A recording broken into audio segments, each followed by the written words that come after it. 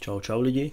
Máme tu další písničku, o, který, o kterou jste si napsali a je to skladba od Roman z Pardubice, Hinman Chayori. Je to krásná stará písnička a e, budu to hrát z Amulu, e, jak ta písnička je natočená i od nich. Takže jdeme na to.